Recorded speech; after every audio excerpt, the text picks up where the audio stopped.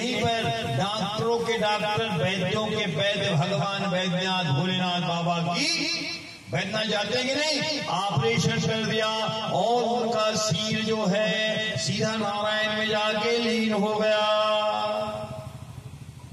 हाहाकार मच उठा नारद जी गुरु जी आए हैं, माता पार्वती शांत किए। जा महतारे, कौन समझाए? गुरु जी की बात को तो मानना ही पड़ेगा। सबको मानना चाहिए, हमको, आपको, अपने अपने गुरु जी का।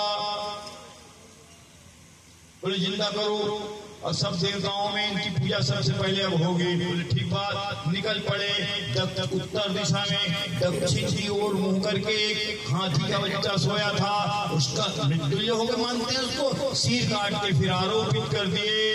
ले इससे बड़ा कोई सर्जक होगा क्या? भोलेनाथ जी से अग्र पूजा के अधिकारी बन गए भक्त और भगवान। भगवान ने उस समय कहा था बाना शिव सोनितपुर के रणांगन में युद्ध के मैदान में मैं आपके हाथों स्तंभित हो जाऊँगा। हाँ भक्त और भगवान के, आज बानासुर प्रसंग में देखो, भगवान शिव जब मारी लेते हुए स्तंभित हो गए, और सुदर्शन भगवान ने बानासुर की सारी भुजाओं को आरे की तरह चीर डाला चार भुजाएँ ही शेष रह गई भक्त और भगवान की। हो।